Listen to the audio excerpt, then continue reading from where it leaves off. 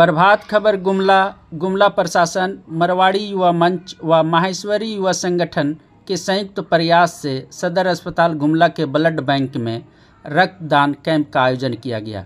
यह कार्यक्रम विश्व रक्तदाता दिवस पर आयोजित था। Gumla DC Karn Satyarthi, Gumla DSP Virendra Toppo Chainpur SDPO Amita Lakra, Prabhat Khabar, Gumla के ब्यूरो इंचार्ज दुर्जय पासवान सहित 45 लोगों ने रक्तदान किया।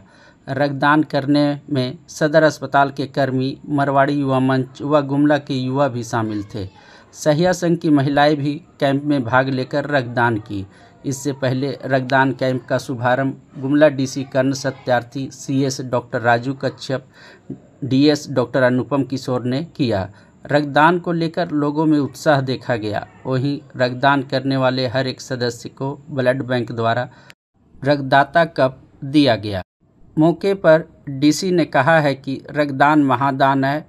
इस अभियान में हर कोई को भाग लेना चाहिए। वहीं सीएस डॉक्टर राजू कच्छप ने कहा कि हर तीन महीना में कोई भी 18 वर्ष से ऊपर के युवक, युवती रक्तदान कर सकते हैं। डीएस अनुपम किशोर ने कहा है कि रक्तदान एक ऐसा अवसर है जिसे हम सभी को करना चाहिए। रक्तदान से किसी को चुकना नहीं चाहिए। इससे कई लोगों की जान बच सकती है। टेक्नीशियन राकेश कुमार ने कहा कि ब्लड बैंक में आने वाले हर एक मरीज़ को रक्त दिया जाता है। एक ऐसी चीज़ है कि आप पहली बार जब कर रहे होते हैं तो काफ़ी झिझक होती है, डर होता है काफ़ी कि इससे क्या होगा, शरीर में कमज़ोरी तो नहीं आ जाएगी। पर एक बार आप कर देते हैं और उसके बाद जो आपको संतोष का एहसास होता है कि आपने जो रक्तदान किया, उससे किसी मरीज़ की जान बच सकती है। उसके बाद आपको जो है, जो अनुभूति होती है, वो बहुत सुखद होता है। परंतु एक चीज़ मैं देखता हूँ कि जैसा डॉक्टर साहब ने बताया कि हमारे ग्रुप भी बने हुए हैं और लगातार निरंतर लोग ब्लड डोनेशन के लिए आगे आ रहे हैं। लेकिन अभी भी जो ज़िले के जितने युवा हैं, उसमें से एक या दो प्रतिशत ही हैं जो एक्टिवली इस अभियान का हिस्सा हैं।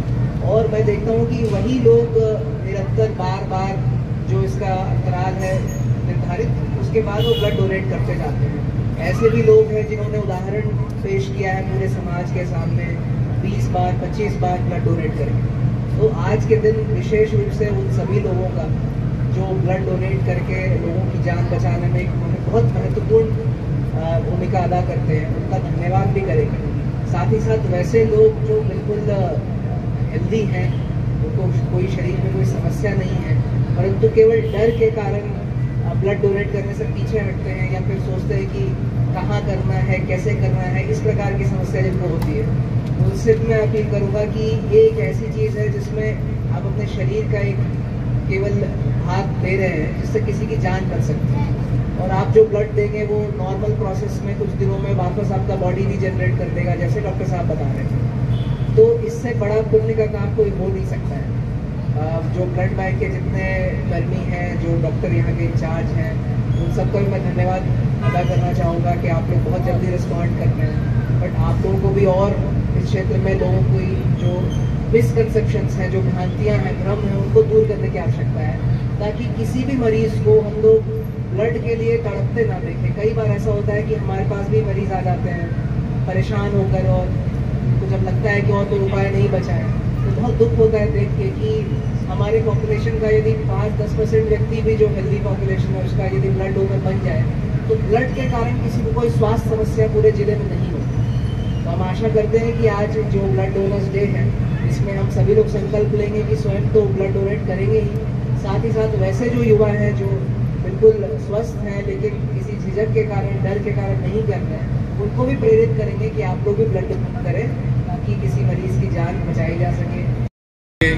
उपायुक्त महोदय, साथ ही साथ उपाधीक्षक, यहाँ के चिकित्सकगण, हमारे स्वास्थ्य कर्मचारी एएनएम एवं पैरामेडिकल स्टाफ और साथ ही साथ मीडिया के बंधु, आप सबों का मैं स्वागत करता हूँ।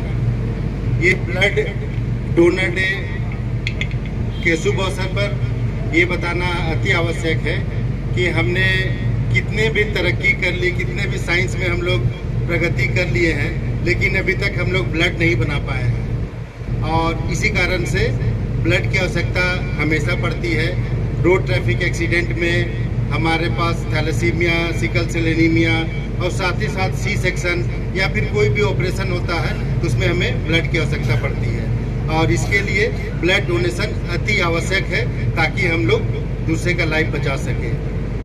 आज ये डोनर्स डे मनाया जा रहा है तो उनको बहुत बहुत बधाई, जो लोग ब्लड डोनेट करते हैं और जो नहीं करते हैं, उनको भी कम से कम आज सीख लेने की ज़रूरत है कि वो भी अगर स्वस्थ है पूरी तरह तो हर तीन महीने में रक्तदान करें ताकि उनके ब्लड से किसी और व्यक्ति की जान बचाई जा सके, जिनको बहुत ही ज़रूरत है। आज blood world blood donation day है और, एक ब्लड दान देना जीवन बचाना एक बहुत बड़ा दान होता है इसमें मैंने एक छोटा सा प्रयास किया है। और मैं भी खुलावासियों से ये आग्रह करती हूँ कि वो भी इस दिशा में आ, आगे आए और लोगों का जीवन बचाने के लिए जो भी प्रयास है आज वो करने का प्रयास करें जैसा कि सभी को जानकारी है ब्लड अभी तक कोई साइंस में ऐसा नहीं बना है कि ब्लड बन सके। ब्लड किसी को ज़रूरत है तो ब्लड से ही दिया जा सकता है। इसलिए पूरे गोलावासियों को मैं अनुरोध करूँगा कि अपने परिजन हो या तो फिर अपने गोलावासियों को जिसकी ज़िंदगी बचानी हो, आप डोनेट कीजिए। प्रभात खबर डॉट कॉम विश्वास वही, रफ्तार नहीं